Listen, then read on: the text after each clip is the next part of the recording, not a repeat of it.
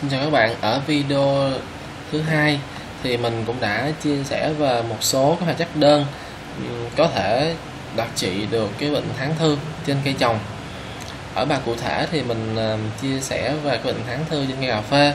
Nhưng các bạn cũng có thể dùng những hoạt chất này để trị bệnh tháng thư trên ờ, các loại cây trồng khác. À, tiếp theo thì mình cũng xin chia sẻ một um, cái um, chủ đề rất là hay đó là cái sự phối hợp thuốc à, để trị bệnh thắng thư. À, có nghĩa là ở đây chúng ta cộng hai hoạt chất lại với nhau để trị bệnh thắng thư. Thì khi nào chúng ta nên dùng những cái công thức này? Khi mà chúng ta phun lần đầu à, mà bệnh thắng thư à, không dứt điểm thì chúng ta có thể phối thuốc để tăng thêm cái hiệu lực tác dụng cũng giống như mở thêm cái phổ rộng của thuốc ra thì ờ, mình xin đi vào chính luôn, nội dung chính luôn. Thì ờ, công thức thứ nhất là chúng ta có thể phối cái hoạt chất là chlorothalonil cộng với propiconazole thì ở trên thị trường ờ, đôi khi cũng có một số công ty họ đã kết hợp sẵn rồi, cho chúng ta hai hai hoạt chất trong một sản phẩm rồi, thì thôi chúng ta mua sản phẩm đó luôn. Còn nếu chưa có thì các bạn mua hai gói riêng hoặc là hai chai riêng gì đó à, chúng ta pha lại à, với nhau theo sự hướng dẫn của um, kỹ sư bên nông nghiệp nông học nông nghiệp hoặc là đại lý bán thuốc.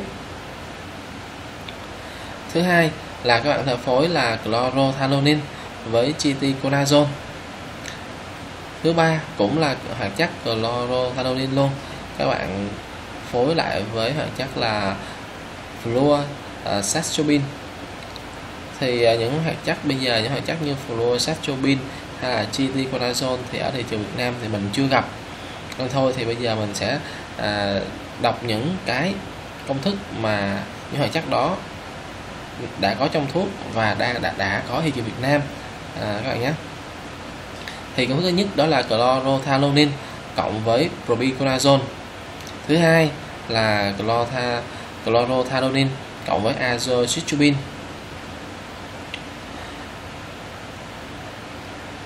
thứ ba là azoxystrobin cộng với propiconazole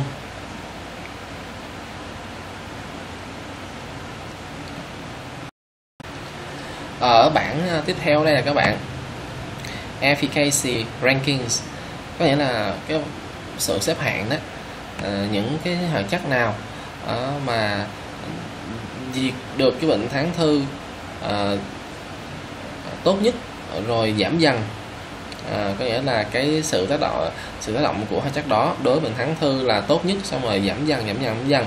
Để chúng ta so sánh được à, ăn nào là chất mạnh à, để diệt triệt để tháng thư.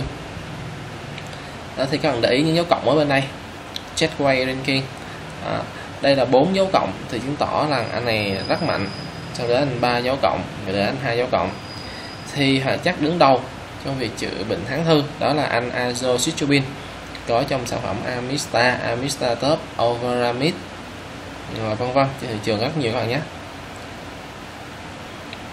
À, thứ hai ở giờ mình cũng nói luôn là mình sẽ chỉ đọc những hoạt chất mà có ở Việt Nam thôi.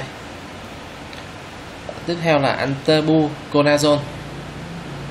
Tiếp theo là anh mình càng đọc thì các bạn sẽ hiểu rằng cái độ mạnh đối với bệnh thắng thư diệt bệnh thắng thư nó sẽ giảm dần các bạn nhé